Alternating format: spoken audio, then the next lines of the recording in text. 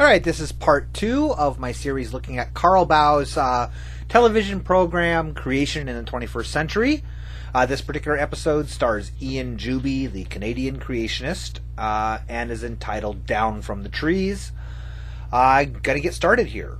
Now, when he got older, he, he firmly believed and was convinced he was going to be a missionary. This man would stand on a soapbox in the middle of the streets, preach to the crowds, get people saved. He'd call people up in their bedrooms just to harass them into becoming a Christian.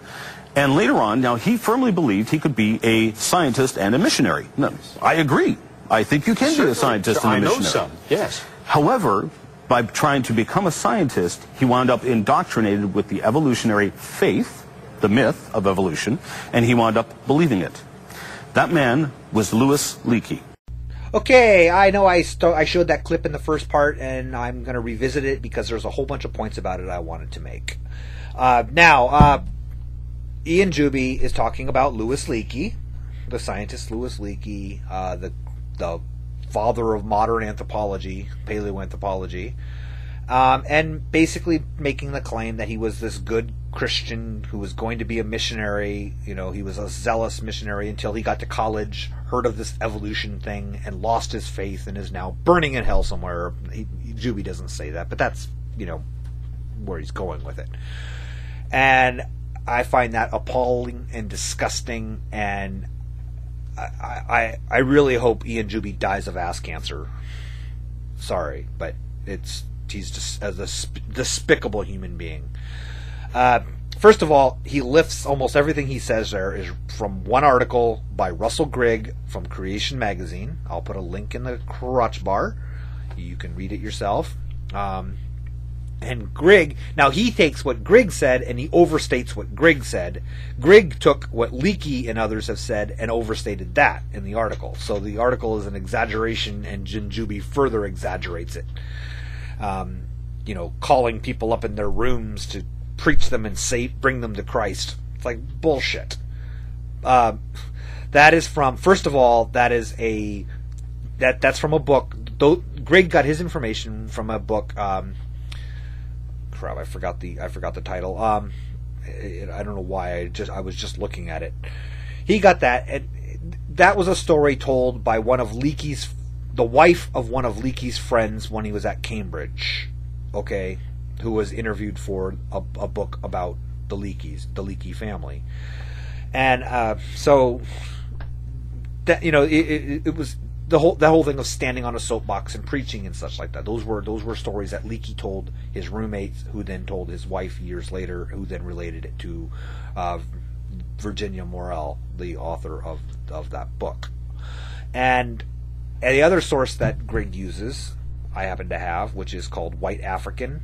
Um, if if you can see, it is a an amazing book. It it's it if you don't if you want to learn about Louis Leakey, uh, this is his autobiography, and it's it's it's you, you can't put it down. It's it's it's uh, not only a fun read.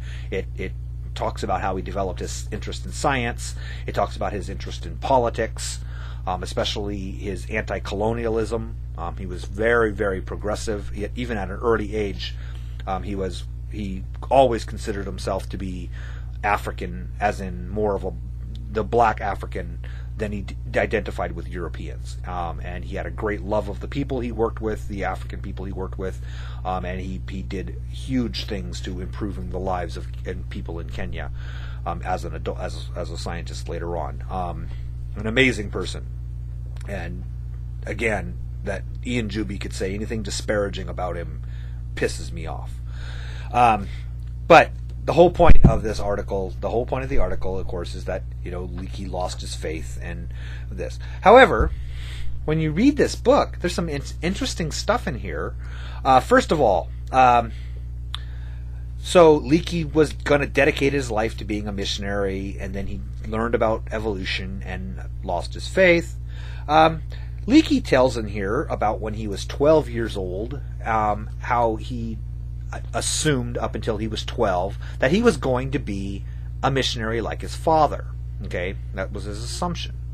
And then an ornithologist stayed with them who was visiting East Africa, ornithologist stayed, and, and since Leakey was uh, always, you know, hunting birds and stuff like that as a child, um, this ornithologist, he became, he suddenly realized that you can be a professional and study something like birds, and so Leakey announced he was going to be an ornithologist when he grew up.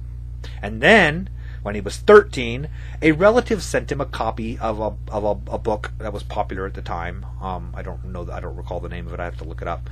Uh, about prehistory.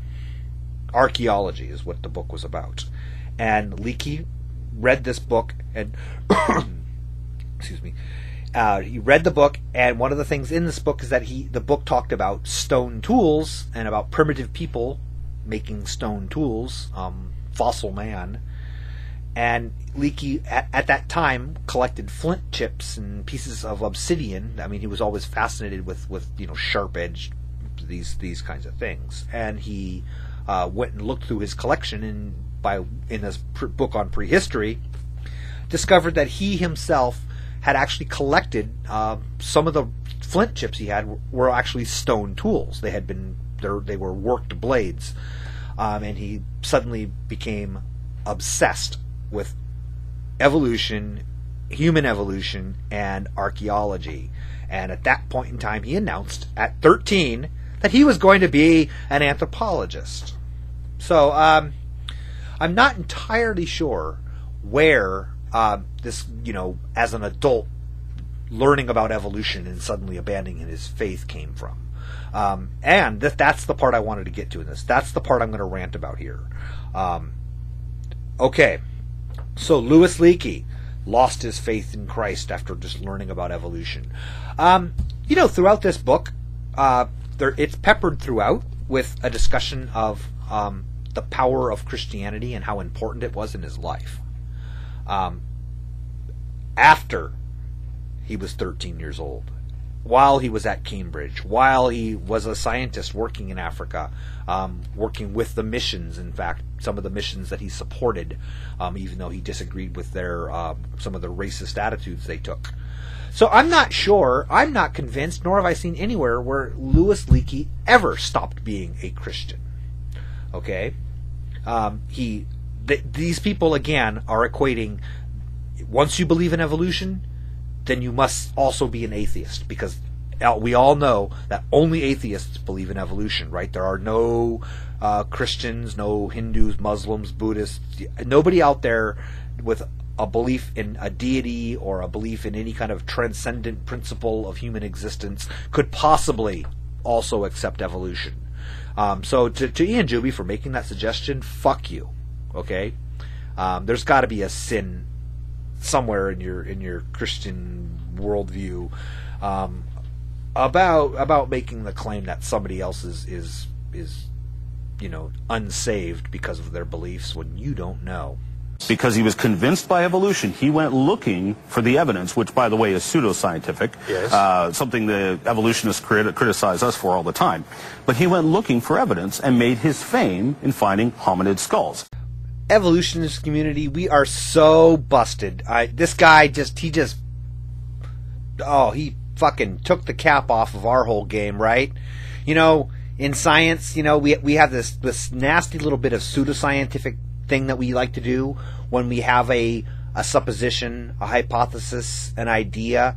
We actually go out and look for evidence in order to demonstrate whether or not it's true. Or more importantly, we go out and look for evidence in an attempt to disprove our concept. Um, if we can't disprove it, then our concept gains some kind of scientific rigor. Damn it! I mean, I, I th- this is a dirty little secret we scientists have been keeping for a long time. Uh, I, I don't know. I, I wish the the the secret society, the cabal, had had stopped Juby before he admitted to the world that you know science relies on evidence. Uh, science relies on actually finding evidence, uh, as opposed to you know just saying pulling shit out of your ass and just saying it publicly and and uh, demanding that people believe it to be true. This is one of those hominid skulls. Now, this was called Homo habilis. And the reason he called it that was because it was nicknamed the Tool Man. Yes. Uh, they found the skull, and then nearby they found bones that appeared to have been butchered by tools. So they assumed that it was Homo habilis who was really a smart ape, is what they're trying to imply. I swear sometimes these creotards pwn themselves. And actually, they always pwn themselves. Uh, this is a great example of it. So he's showing us a, the fossil skull of Homo habilis that Louis Leakey discovered, right? Um, guess what, fucktard? You know, you're holding the skull of OH05, okay? OH5 Zinjanthropus is what Leakey. Dis- First of all, it was discovered by Mary Leakey, not Louis Leakey. It was described by Louis Leakey as Zinjanthropus boisei. Um, now is called Australopithecus boisei, although I think they've reverted back to Paranthropus. Uh, but the point is, is that it's not Homo habilis. It was never Homo habilis. It was never thought to be Homo habilis. It, it doesn't look anything like Homo habilis. Uh, you purchased these skulls. Okay, this means that you sat on an either online order form or filled out a catalog order form. Don't you even know what you fucking bought? Are you that stupid, or does the skull just kind of look? It looks a whole lot more like an ape, you know, than than uh, than actual Homo habilis fossil would. So you know, you're you you figured it was a great way to to show how stupid us evolutionists are for you know believing that this could even possibly be a human skull. I don't know what your game is. I don't know. I it, it's but this is it. This is an example. I mean, how much confidence can we put into anything that this asshat has to say? Anything. Okay? As a Whirling Wolf said, Crocodile Fundee. What what com- what your outfit? Is that is that was that what's supposed to give people confidence that you know what you're talking about when you don't even know? You're getting the species wrong, you're getting the the the whole thing wrong. Now let's see if you can fuck up even more. Okay, that that would be fun to see. Can you can you possibly fuck up even worse? Now, this is the second skull of Homo habilis. This one was actually found by Donald Johanson, who we're also going to discuss quite briefly. He was also the discoverer of Lucy. Lucy, the our uh, supposed cousin. Our supposed cousin. And this one, again, we're going to analyze these in the end and determine which ones are ape and which ones are human. Excellent. So we're going to take a closer look at these later on. Yes. All right, he got the species right this time. Uh, unfortunately, that's about all he has correct. Uh, the skull he is holding up is called is it, its museum designation is OH24, Homo habilis, discovered by Peter Nzube in 1968, I believe. Uh, not, it's not the Homo habilis discovered by Donald Johanson, which only had a few skull fragments um, however, almost a, a, a very well preserved post cranial skeleton, and that designation is OH62.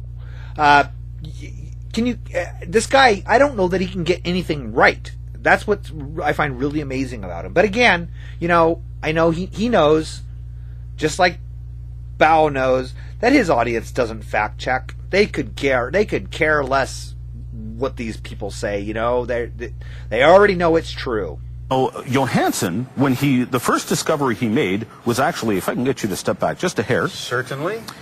this was actually the first discovery he made. He found this bone here and this bone right there. So it made up, uh, composed a knee joint. Now, just to be clear, now I'm I'm positive Ian Juby uh, isn't trying to say that Lucy's knee was actually part of a different fossil find or was found in a different location. Okay, he wouldn't be one of those fuckwitted douchebags that would make that old tired claim, right? Um, he was just merely pointing to the knees of Lucy as an example of what the knee joint, a separate fossil Donald Johanson found the year before. Uh, that, that that that that's certainly what he meant. I'm positive. Now, when you see Lucy depicted, what you are seeing, you are not seeing the knee that was actually found with it. You were finding what you were looking at is a knee that was found first. All right. Oh, fuck you. See you guys in part three.